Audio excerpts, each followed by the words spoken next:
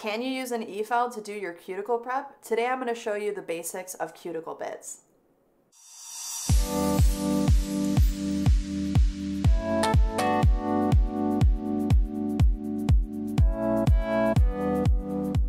Hey guys, Liz from the Nail Hub here, and today I'm going to show you guys the basics of cuticle bits, all the different kinds that there are, and what you need to look for if you're interested in doing e-file preparation for your skin and your nail plate.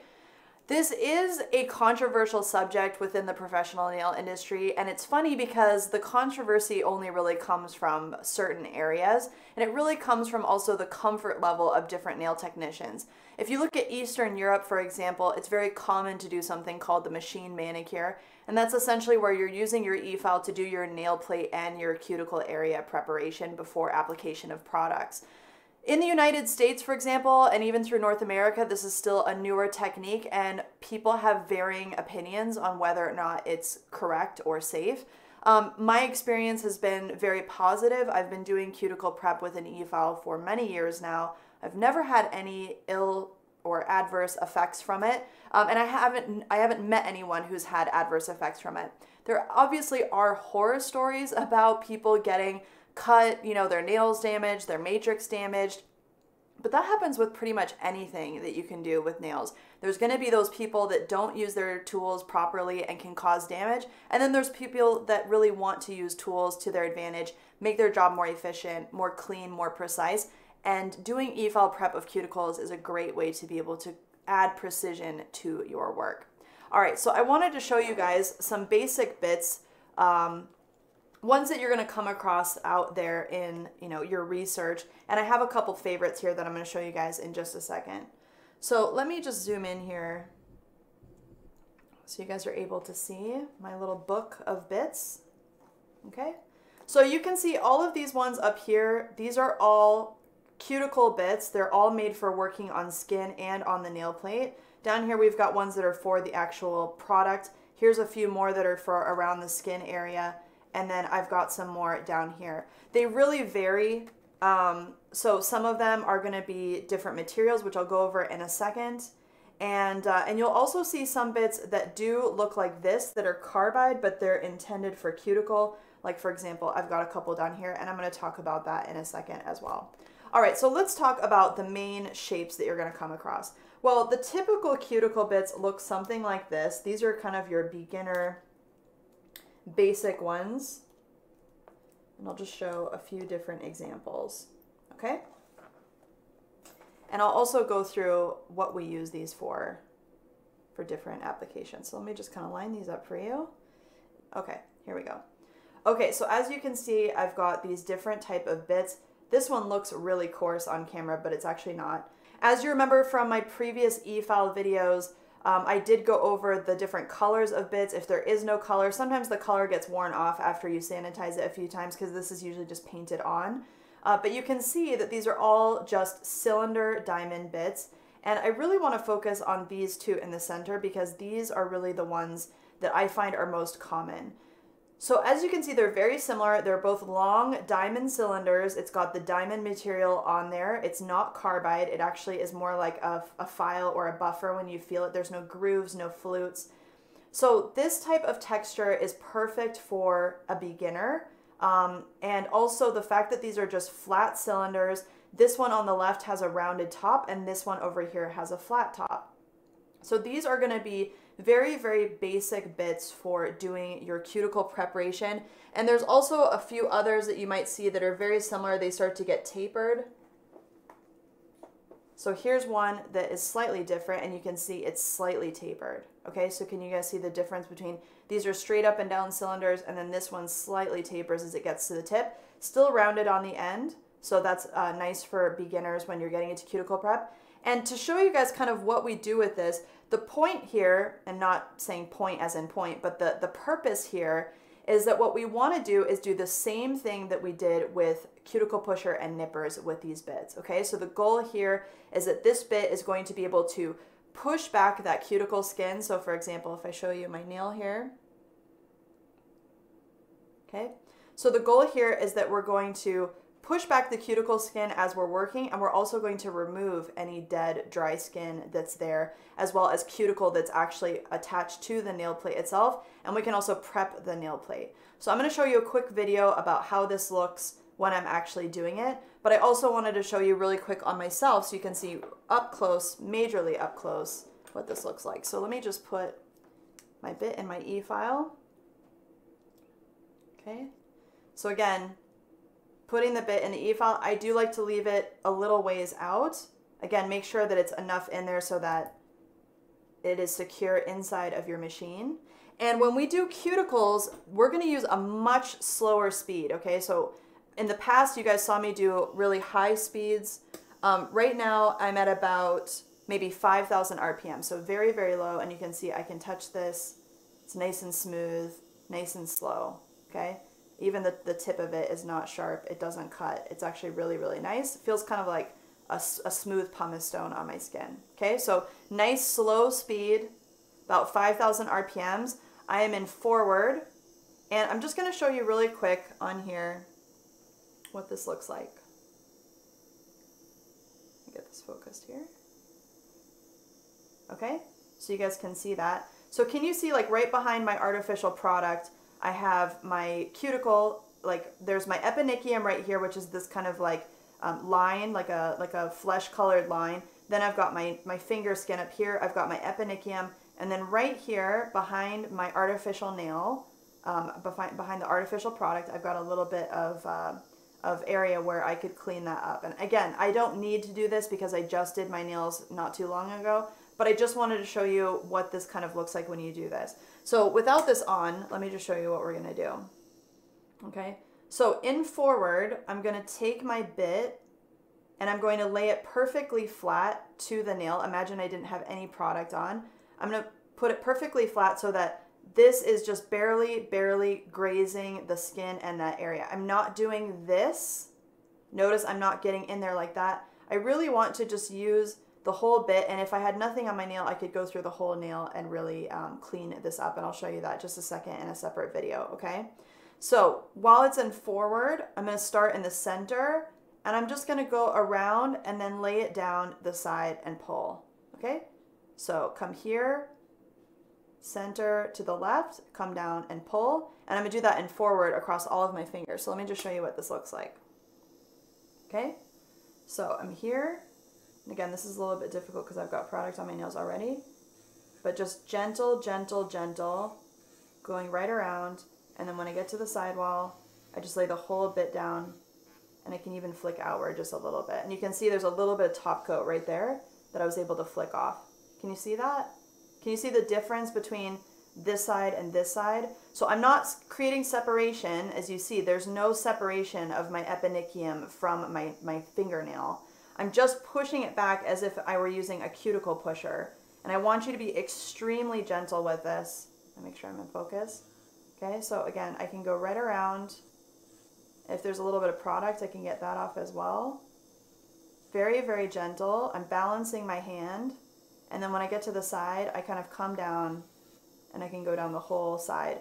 Now, I know a lot of you guys have been asking me about hangnails on the sides. This really helps with that because what it does is it blends everything down and really gets rid of anything. When we cut those, when we cut the, the hangnails, we end up cutting them and there's still a little bit of serration. So if I'm able to come down here, this sidewall, I'm able to blend that really nicely. And if you use this on an extremely low speed, honestly, there's very little you can do to yourself. Like I can come up here and I can push. There's, there's nothing happening. It's not sharp. Um, and you can see, you can see like, you know, it, I'm pushing on my skin. You can see the little white mark, okay? So that's the center to the left side. I would do that on all 10 of my fingers. And then I come back and I can do this on the other side. So I'm just gonna come and do center to the right side. And again, this takes a little bit of practice because we're so used to just doing right to left when we're, when we're right-handed. If you're left-handed, you're gonna do the exact opposite of what I'm doing. And the nice thing about diamond bits is they're universal. They can be used both directions. Okay, so just come down like that. You can see if I turn my hand. Okay, so let me dust this off so you can see. So I'm just going to dust this off with a manicure brush so you can see really well. Okay, So no separation whatsoever of the cuticle area. You can see my skin is still attached. You can also see I still have my eponychium and any flesh that still has blood supply to it has not been cut, removed, anything like that. You can also see on the side walls that I'm able to get in there and blend out that natural nail and make it nice and smooth. My skin feels nice and smooth as well. And same here on this side, you can see when I pull it down, I'm able to blend out all of that skin. This is actually artificial product right here. This is part of the gel, okay? But it does make it really nice and clean. But see how like nice and clean that looks. And I have very, very pink nails to begin with. Like my natural nail is pink. But you can see how it keeps my skin nice and clean and it's an awesome way to do prep. So let me show you a quick video about how we're going to do this prep from start to finish on a natural nail that has no product on it. So I'm starting in forward on my machine at a very low speed, about 5,000 RPMs, and I'm going from the center of the nail to the left side. You can see I actually do very small movements and pick up my bit in between and I keep it moving. And I'm using a very light pressure. I'm basically doing the same thing I would do with a cuticle pusher and nippers, but I'm doing it at the same time. I can also use this bit to go through and remove the natural shine from the nail plate just like I would have with a buffer or a nail file. I keep the bit extremely parallel to the nail and I just remove the shine evenly and any dried material on the nail plate. Then I'm going to do the right side using reverse on my machine going from the center to the right. Think about this like wax on, wax off. I want to push the skin away from the nail plate evenly on both sides. That's why I use two different directions on my e-file. This reverse technique does take a little bit of practice because we're not used to doing it, but it makes for a very nice, even preparation. So you can see before and after. I've done what I would have done with a cuticle pusher as well as a buffer. I've removed the natural shine and pushed back the skin, and I've also removed dried cuticle from the nail plate, but I haven't done any major damage to the nail with this bit.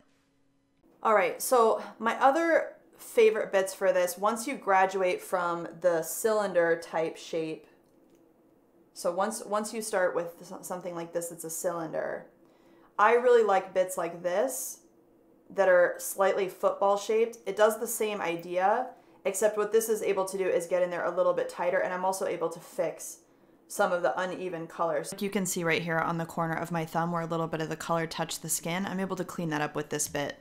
So this bit is an intermediate bit. So this is this is what I would say for for beginners. So for beginners, you're going to want something that doesn't have any particular shape to it that has a rounded end this one you can see is a little bit smaller, a little bit more refined, a little bit more pointy. It's got a football shape to it. And I do like these ones because they're a little bit smaller and they're able to get in those grooves a little bit easier. So if you see like right here, I'm able to go down and just get up there like a little bit more. And also because this is slightly pointy and it has a football shape, see how I am able to keep that tip flat along my nail and then I can go down and really use the belly of that to blend out any hangnails or any product that's touching. So same thing on this side, I can come down like so, okay? So this is definitely intermediate to advanced type of shape. This is gonna be better for beginners or even like the one I was just using that's completely straight up and down. I do really like this one and I'll put the links to these down below. And then for actual removal of any skin, I really like this bit. Um, this bit is similar to a ball bit, so there's lots of ways to remove the dead cuticle from the finger once you've kind of lifted it up. Um, I'll just show you a couple different ones. All right, so these are all different bits that you would use for removing cuticle, and I'll even show you this one, okay? So as you remember from when I did regular cuticle prep, I was able to, um, you know, push back the skin. I was able to see like a white line of skin that no longer has a blood supply to it. And technically it is still attached to my eponychium. However, the skin was not, um, was not uh, like live skin. It's, it's skin that can be removed and it's what we would nip off. So any skin that you would nip off, a lot of people use bits like this to remove it instead. Now this one over here, I'm going to tell you that the corundum type of bit that's this material it is porous. It is like a pumice stone. And so I don't really recommend this style because it's not necessarily perfect to uh, be able to sanitize. Since it is porous, it could be harboring stuff inside of it. And you don't want to accidentally um, you know, infect somebody with something from somebody else. so I don't like using these porous ones, although they are nice. They are like a, like a nice smooth pumice stone, but they're porous. So in a salon setting, I just I don't like those. I like metal because they can be autoclaved and they can also be uh, sanitized properly. So you can see there's a ball bit here, a teardrop, the droplet, um, this one that looks like kind of a, a, a, blend between a ball bit and this one, and then just a regular ball bit. And ball bits come in all different sizes. Honestly, there's like teeny, teeny, tiny ones. Let me show you some different sizes. Okay, so you can see, I'll put these in order of smallest to largest, that there are lots of different sizes of ball bits. It just depends on what you're doing. Um, for larger surface area and for polishing skin, you're going to want something that's bigger. And if you're just trying to get little teeny areas, you're going to want something that's smaller. But to be honest, this one in the middle is now my, my favorite. I started using this one because it gives me the best of, of all worlds and allows me to remove skin. And so it allows me to polish. Um, so I'm able to polish the skin up here and around. And as you can see, my skin is like really nice and smooth. And I'm also able to remove any dead cuticle. So I'm going to show you guys what that looks like live on a client. So I first start with that flame-shaped cuticle bit, just going around and getting the dead cuticle off of the actual nail plate and smoothing out anything that's in the grooves or very, very close to the cuticle skin. The goal here is to clear out the side walls and get the dead tissue and material off of the nail plate, and then I can go back with my other skin bit and really remove any of the dead crusty skin that's on there without attacking the eponychium. So you'll see that only the skin that wants to come off comes off, and I'm able to leave the eponychium intact, only removing the skin that wants to come off and is really just the dry, crusty skin. This also reveals softer skin underneath, which allows for the skin to absorb moisture better. This client has extremely dry skin, so these bits are really great for that rather than hacking off her skin with nippers and ending up, you know, causing these serrations that are prone to tearing. I'm able to exfoliate off of off all the dead skin, re-moisturize her skin, and it's going to be that much better after the fact. So you can see this bit removes everything really easily, but also very gently.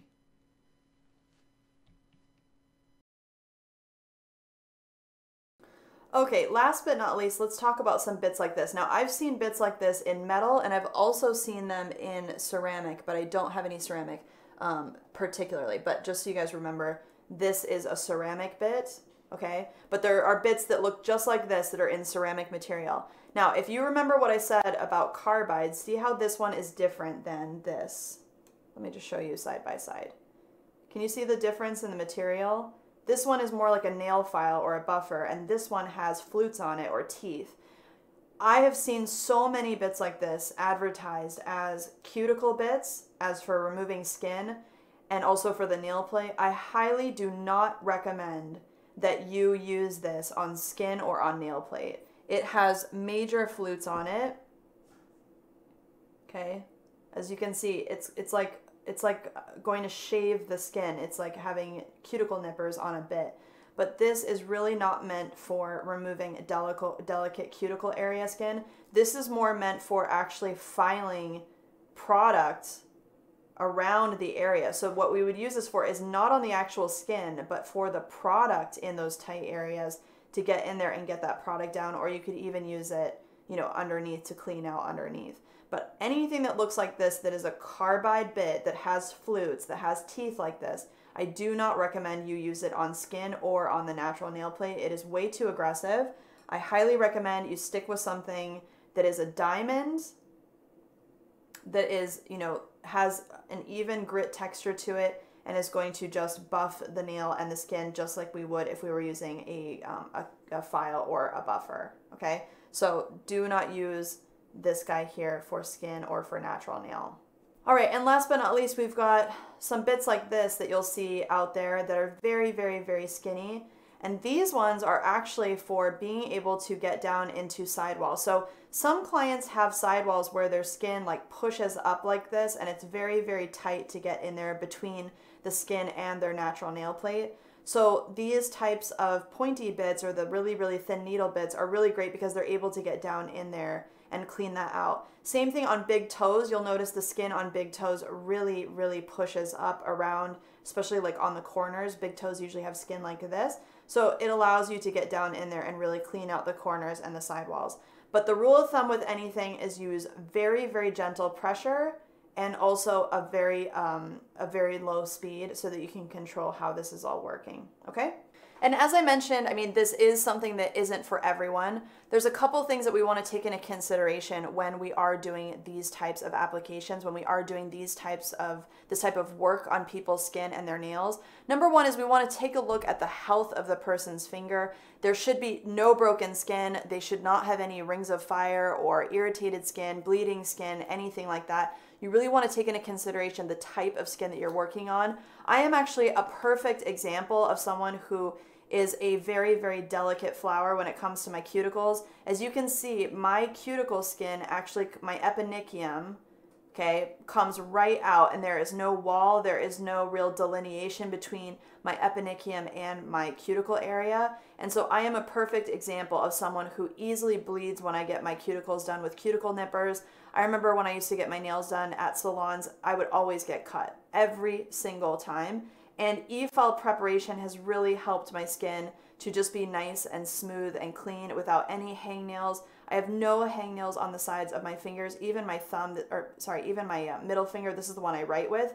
You can see how nice and smooth my skin is. And this is literally just from doing gentle, gentle uh, exfoliation of my skin every time I do my nails and keeping them moisturized with cuticle oil.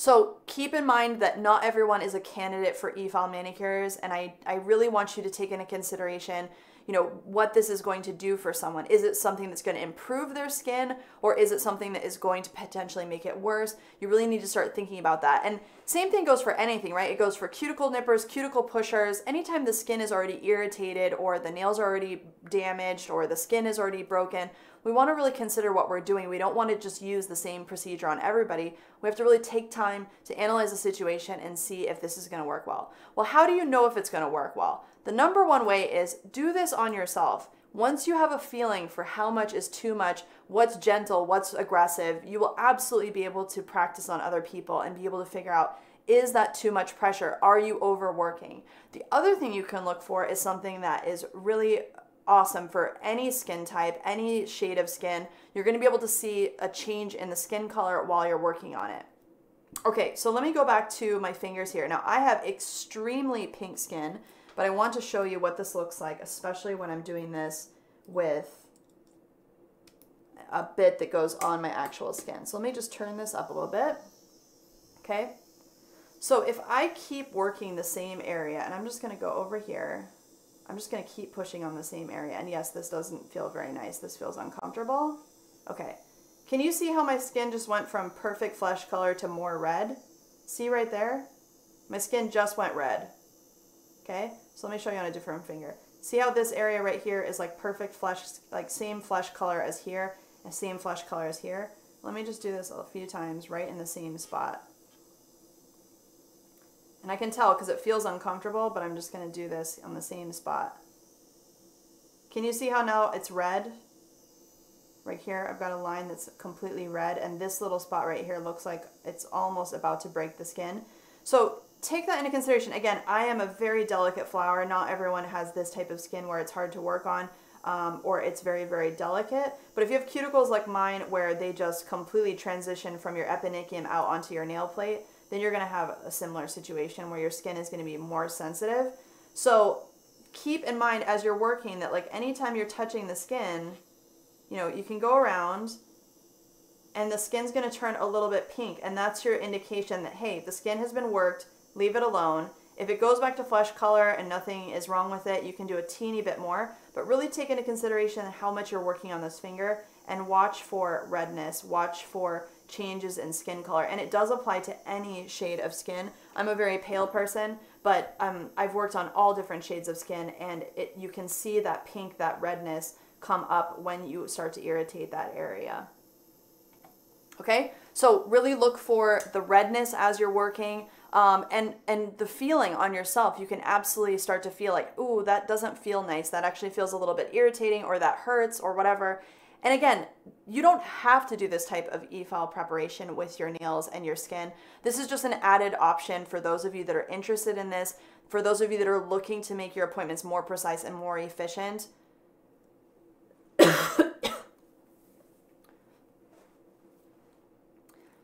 and this is something I did not do when I first started. This is something that I've learned how to do over the years that I've become more confident with as I've worked on nails and again, this is something that you don't have to do overnight. You can practice a little bit here and there. Um, this is also something you can literally do with two bits. And I really recommend that you guys get um, a cylinder bit and the one that is my favorite for removing skin. So let me show you which ones I would recommend for all of you who are just getting into this. So this one this style of cylinder is really nice for being able to work on just about anything and being able to get that skin cleaned up. And then for any of the skin removal, I really like this one because of the shape. It allows you to go around the area and clean up the skin without really touching the, the nail bed underneath. Um, so it's really nice to be able to work like this. And I like it because it's also big so you can polish all the way around the finger. Toes, it's also wonderful for, so it has a lot of surface area. I do really like this one. And then a cylinder is a really good go-to for someone who's already, um, sorry, for someone who's a complete beginner and doesn't have a lot of experience with, uh, with e-filing. So you can see some of the product that came off of my nail on here. Um, but these are really good to start with, and I'll definitely put the links down below so that you guys can try these. All right, so let's talk about our do's and don'ts for the day. So definitely consider the type of area you're working on. Use a light hand and be delicate. Think of e-file prep as, as if it were nippers and a cuticle pusher. That's the exact same thing that we're doing here. And focus and watch on uh, what you're doing.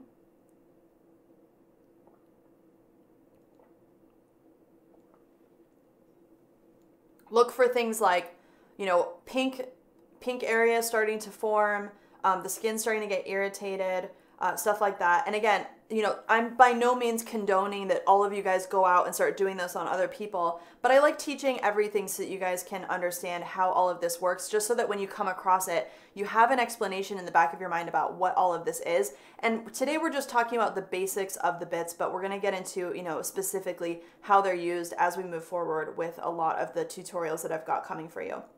So practicing is obviously important with anything that we learn how to do.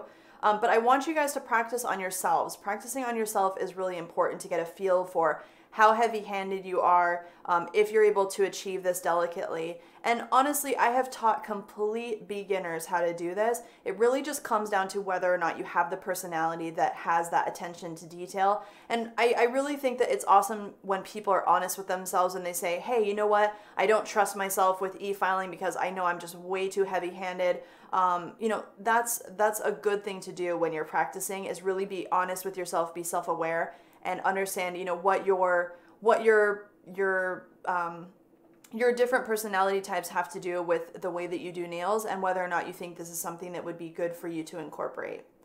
Absolutely sanitize your bits in between each use. I don't care if you're just doing this on yourself at home or if you're doing this on friends or if you're even working in a full-on salon and you're doing this for clients.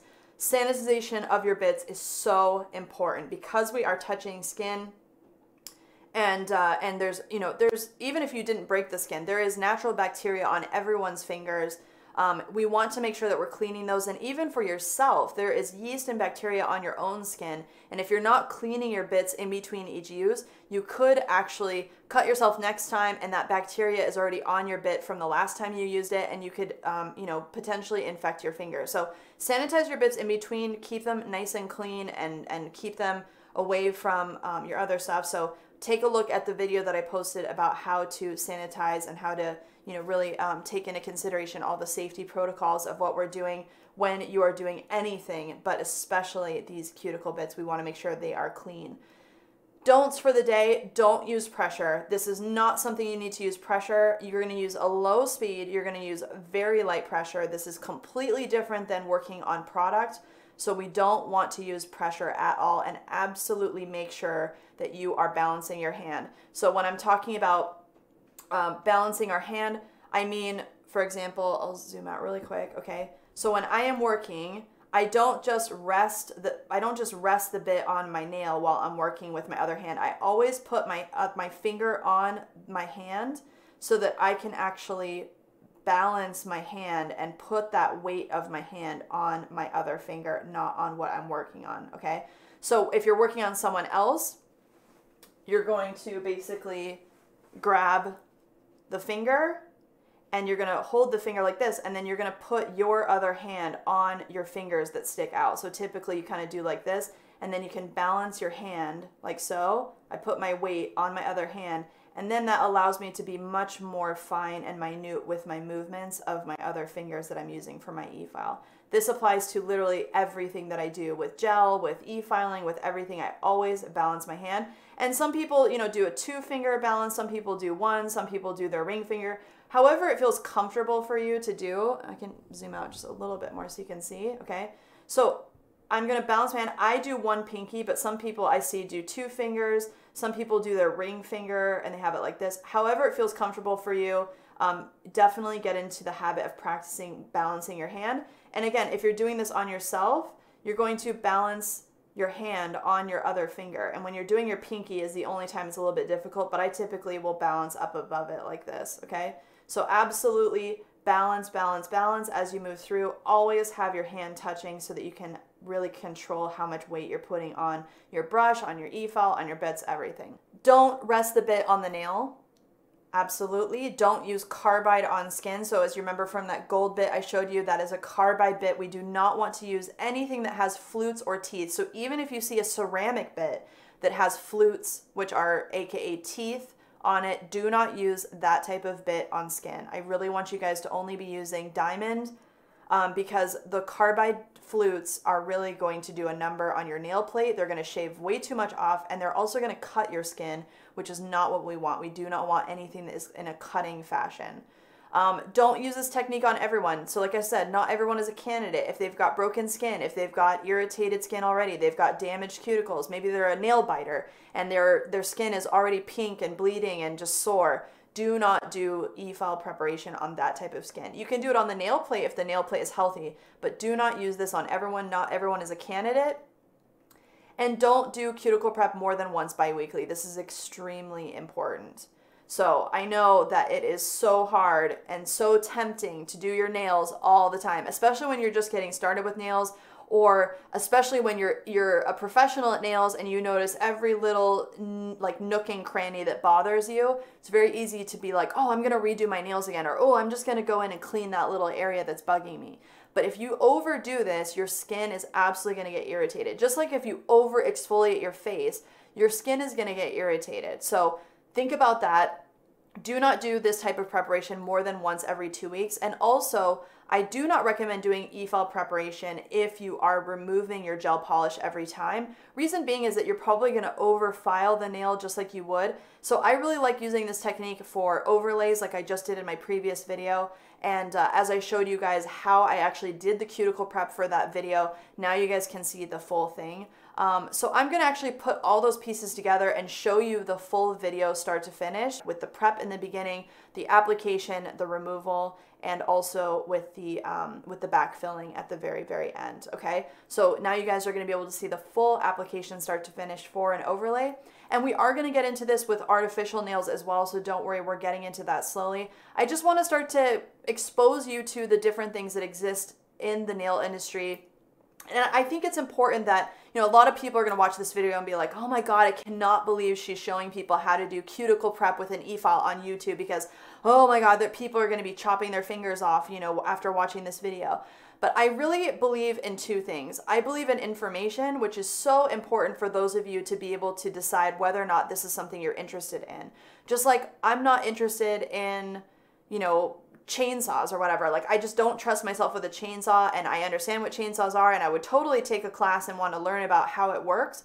But th- that doesn't mean I'm going to pick up a chainsaw and chop off my arm. Like it's just I think it's ridiculous that we put this much kind of fear-based mongering on specific products, on specific techniques because really at the end of the day it comes down to information, it comes down to education and the more educated you are and the more information you have, the better you're going to be able to make decisions. The better you're going to be able to say, no, I don't like that, or no, I don't feel comfortable with that, or yes, I love that, or yes, I want to learn about this. And you're also going to be able to discern what's good and what's bad about other stuff that you see. Or when you see someone doing it the wrong way, you're going to go, hey, that girl's using way too much pressure, or she's using a carbide bit on skin. That is not what we should be doing. So I really believe in information, and what you do with this information is totally up to you. But I believe in sharing information. I believe in making educated individuals that can make decisions for themselves. So that's number one. Number two thing about, you know, this whole I can't believe you're, you know, teaching on YouTube or whatever is that I just I think that it's it's really up to each individual for us to realize that the tools don't hurt people.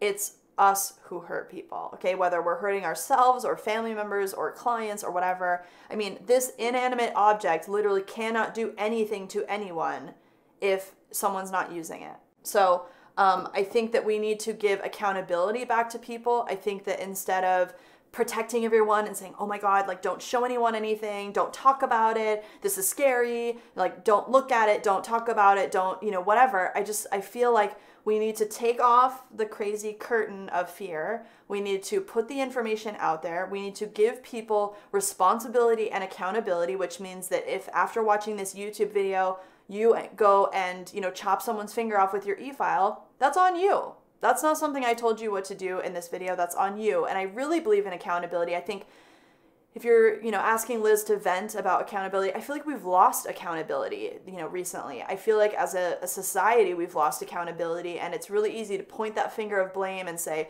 oh my gosh, you know, like this is because you know that person had access to an e-file that's why they were able to do that no it's not because they had access to an inanimate object it's because they didn't know what they were doing or they did know what they were doing and they decided to do it badly anyway and really, the accountability and the liability falls on that individual. And yes, that is something that you need to decide whether or not you want to be accountable and liable for your actions. And that's up to each individual to decide. Do you want to be responsible for doing e-file manicures? Do you want to be responsible for using cuticle nippers? Do you want to be responsible for applying artificial product on someone's nails, right? And using a UV lamp or using acrylic or using glue or using whatever. There's lots of stuff that we use for nails and for everything throughout our lives that potentially can be dangerous. Driving a car is more dangerous than doing a cuticle e-file manicure but we do it with the acceptance of the responsibility that we take on when we get behind the wheel of a vehicle. And it's no different than anything else. So if you feel comfortable in taking on that responsibility of learning how to do it properly, practicing, making sure that you're doing things on the up and up, more power to you. And I believe in that. I believe in giving people the option to choose those things for themselves. And I believe in giving people information. Okay. So that's Liz's rant for the day. And I will be in touch again next week with another awesome video. All right. Bye, guys.